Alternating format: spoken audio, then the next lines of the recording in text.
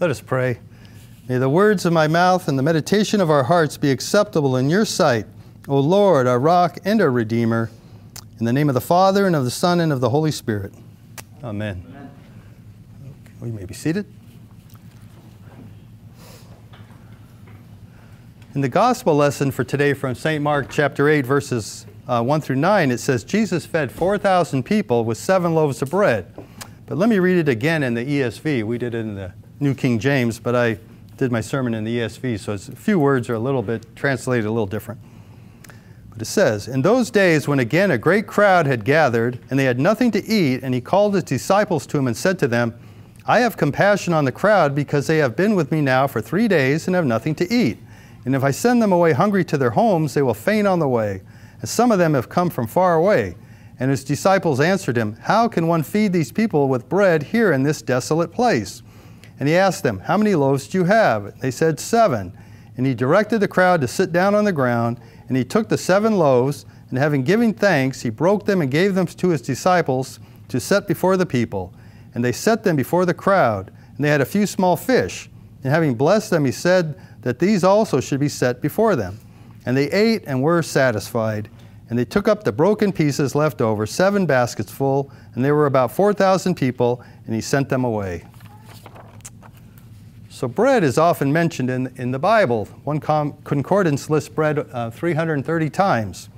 And bread can have more than one meaning, though usually bread means food. I think in older days bread meant money and stuff. Maybe that's going back pretty far, I don't know. But the Greek word for bread can mean literally bread or it can mean food in general. And Jesus also tells us to pray for our daily bread in the Lord's Prayer. So you can see the Bible uses the word bread in a number of ways. But as I said, bread is generally used to describe food. And the reason bread could be described as food in the scriptures was because bread back then, back in the ancient days, was much more nutritious. Today, bread, it just depends. Usually not always that good for you. But I think Ezekiel bread's probably pretty good. It comes from a Bible from Ezekiel, from one of the verses in there. But in the gospel today, it says a great crowd had been listening to Jesus for three days, and Jesus was concerned because they had nothing to eat. He didn't think they could make it home because they were in a, a desolate place. The Greek word for desolate can also be used for wilderness. The King James did say wilderness, whereas ESV uses desolate. But it's the same word used in St. Matthew 4:1 when Jesus was driven into the wilderness to be tempted by the devil. So they were far away, they were far from anywhere that they might find bread. And Jesus feared that if he sent them home, you know, they might faint on their way. We don't know if they'd run out of food recently or had been so caught up with Jesus' teaching that they uh, hadn't eaten for days. Either way, Jesus had compassion on the crowd, it says. Jesus always has compassion for his people as well as for the lost. As J.C. Ryle writes, and I know Pastor or Dr. Rutt and I quote Ryle quite often, but if you don't know who Ryle is, he was during the Victorian age, and he did become a bishop first bishop of Liverpool around 1880, and he died in 1900. But he was a Church of England minister. But Ryle writes, let us observe in this passage how great is the kindness and compassion of our Lord Jesus Christ. He saw around him a great, a very great multitude who had nothing to eat. He knew that the great majority were following him from no other motive than idle curiosity and had no claim whatever to be regarded as his disciples. Yet when he saw them hungry and destitute, he pitied them. The feeling heart of our Lord Jesus Christ appears in those words. He had compassion even on those who are not his people, the faithless, the graceless, the followers of the world. He feels tenderly for them, though they knew, they knew it not. He died for them, though they care little for what he did on the cross. He has a special love beyond doubt for his own believing people, but he has also a great love of compassion for the unthankful and the evil. His love surpasses knowledge. So Jesus asked the disciples, How much food do they have? And they said, Seven loaves of bread and a few small fish. Then Jesus proceeds, or Jesus tells them to have the people sit down, and Jesus proceeds to feed the 4,000 or more people with seven loaves of bread. Now, this isn't the first time Jesus feeds such a large crowd with so little resources. All four Gospels record that Jesus fed a crowd of over 5,000 people with five loaves of bread. But St. Matthew and St. Mark both record a second time that Jesus feeds a crowd of 4,000, as we read in today's Gospel. Interestingly, some scholars believe Mark wrote the same story twice, thinking maybe he had forgotten what he had written the first time.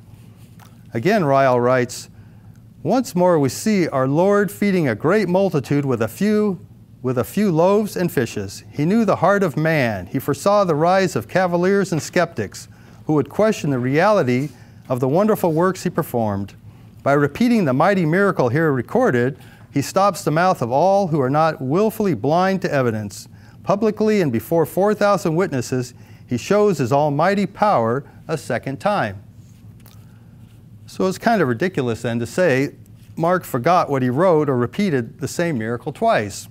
Because later, though, in St. Mark 8, verses 19 through 20, it says the disciples were worried because they'd forgotten to bring bread or they only had a little bit of bread and they were crossing a, uh, the lake on a boat. And Jesus says to them, And do you not remember when I broke the five loaves for 5,000? How many baskets full of broken pieces did you take up? And they said to him, Twelve. And the seven, and the seven for, four, for the 4,000, how many baskets full of broken pieces did you take up? And they said, Seven. And he said to them, Do you not yet understand? So Jesus himself confirms that he had done the miracle, did the miracle twice here. So do you think Jesus ever gets frustrated with his disciples? He had recently calmed a storm, walked on water, healed the sick, healed a deaf man, and fed 5,000 people with five loaves of bread. And now, after all that Jesus had all that Jesus had done, in verse 4, the disciples asked Jesus, How can one feed these people with bread here in this desolate place? And to be even more annoying, after Jesus feeds the 4,000, the Pharisees later show up and they ask Jesus to show them a sign from heaven. And what does it say Jesus does? It said in St. Mark 8 12 that he sighed deeply. He sighed deeply, listening to the Pharisees. When we lack faith or understanding what Jesus is doing, we shouldn't be too discouraged, right? The disciples were with Jesus every day, and yet they often didn't get it. They often didn't understand right away. Then in verse 4, the disciples asked Jesus, where then, where then can they find enough bread in this desolate place? And this would remind the people of Moses in the wilderness.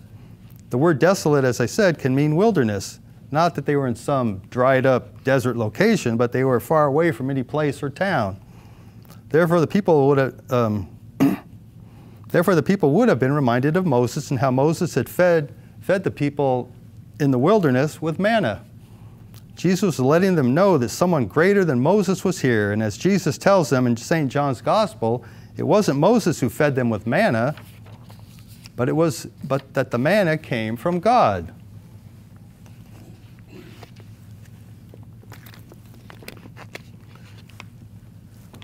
And after feeding the 4,000, it says they gathered up seven baskets. Seven, seven often means completeness.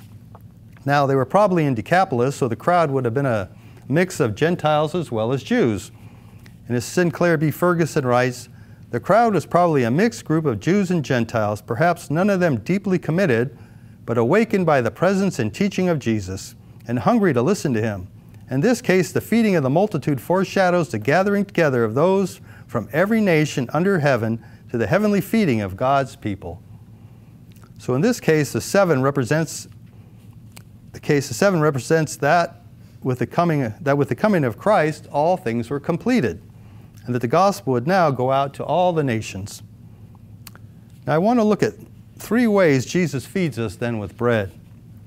First, he literally feeds us with bread as he supplies our, all our needs. We pray, Give us this day our daily bread, and He does. These people were in a desolate place where there was nowhere to, to find food, and Jesus feeds them. Jesus was their only resource. It wasn't like we have today where there's a market or a 7 Eleven or the QT on every corner. But the Lord always supplies our every need. In Psalm 37:25, David says, I have been young and now am old, Yet I have never seen the righteous forsaken or as children begging for bread. So again, the point is God will take care of us. And second, God feeds us with His Word. When Jesus had fasted 40 days in the wilderness and the devil tempts him to turn stones into bread, Jesus tells him, Man should not live by bread alone, but by every word that comes from the mouth of God. That's from Matthew 4 4. So we need to not only feed our bodies, we need to feed our souls. We need to feed on the Word of God. In St. John 6, after Jesus had fed the 5,000, it says the crowds were following after Jesus. But Jesus rebukes them because they were only following him because, because he fed them with the bread. Jesus tells them, Truly, truly, I say to you, you are seeking me not because you saw the signs, but because you ate your fill of the loaves. Do not labor for the food that perishes, but for the food that endures to eternal life, which the Son of Man will give to you. That's John, St. John 6 26. So Jesus is not saying don't labor for your daily bread, but what's more important is the bread that gives you eternal life. And what does Peter have to say about all, all this when the people were offended by Jesus in John's Gospel, or offended by Jesus' words? and began to leave, Jesus asked the disciples if they were going to leave too. And Peter says in St. John 6:68, "Lord, to whom shall we go? You have the words of eternal life." So words of eternal life. And if the scripture contains the words of eternal life, shouldn't, shouldn't we want to read it? Therefore the Lord feeds us feeds both our body and our soul. Then it says in Mark 8 3 that some of them had come from afar. They seem to be working backwards in the numbers here, but in verse 3, they says they'd come, a lot of them came from far away. Many of the people had traveled a great distance to hear Jesus speak the Word of God. And in the year 1800, there was a girl named Mary Jones, and she lived in Wales, and she was 16 at the time. And there had been a revival some years earlier, and many people wanted a Bible, including Mary. Now, it wasn't like it is today. Bibles were hard to come by. They didn't have Christian bookstores on every, in every town, or they didn't have Amazon, and Bibles were very expensive. But Mary saved her money, which wasn't easy to do because her family was very poor. But after six years, she had saved enough to afford a Bible. Seems hard to think of that today, that, that hard to get a Bible back then. Now, the only place to buy a Bible at that time was 25 miles away. So Mary, and this is a true story, Mary walked 25 miles, they say, in her bare feet to get a Bible. She had to walk to the parish of Thomas Charles in Bala. And when she got there, they were sold out. But because she was so heartbroken, Thomas Charles sold her one of the copies that he had promised to someone else. So today I sometimes think, you know, sometimes we might take the Bible for granted. We have so many translations and so many styles. We can get it on our phone, computers, anywhere. Yet, do we read the Bible like the earlier Christians? Think of the reformers in England in the early 1500s and how they how the authorities wouldn't allow the Bible to be printed in English. The punishment for owning a Bible in English was often death, yet many people risked their lives to own a copy of the scriptures. And William Tyndale himself was put to death. He was the first person, the first man to uh, translate the New Testament from the original Greek into the English. And for, his, for doing that, they uh, executed him. But we have now got the Word of God ever since in English. So don't take the Word for granted. It contains the words of eternal life. The psalmist said, Oh, how I love your law. It is my meditation all the day. So feed on His Word by reading His Word. And third, we are fed by Jesus at the Lord's table. We are fed by Christ during Holy Communion. When Jesus was in the upper room with His disciples during Passover, and before he went to the cross, while they were eating, it says in Matthew 26 26, Jesus took bread and after blessing it, broke it and gave it to his disciples and said, Take, eat, this is my body. And he took a cup, and when he had given thanks, he gave it to them, saying, Drink, all of, drink, drink of it, all of you, for this is my blood of the new covenant, which is poured out for many for the forgiveness of sins. Therefore, we see God feeds us literally each day with our daily bread he feeds us by His holy word, and He feeds us with the bread and wine, His body and blood, when we receive the Lord's Supper. And let me end with this. After Jesus fed the 4,000, it says they were satisfied. The New King James says they were full. They were full. It's kind of the same idea when you eat and get full, hopefully you're satisfied. But the ESV says they translate or translates it satisfied. So can we say the same thing? Are we satisf- satisfied with Jesus? Is he all that we need? Often people say all we need is Jesus, and in a sense it's true, but actually I always think, well, we actually need our daily bread. We actually need somewhere to live. We actually need our family. We need a job. We need a lot of things. But first and foremost, we need Jesus. Is He the most important thing then in our lives? Is Jesus the most important thing? Often there are many distractions throughout the day, but at the end of the day, can we say we're satisfied? Are we filled and full of the things of God? After we've been fed with our daily bread, with the Word of God, and with the body and blood of Jesus, are we satisfied? May God help us to be satisfied. Amen.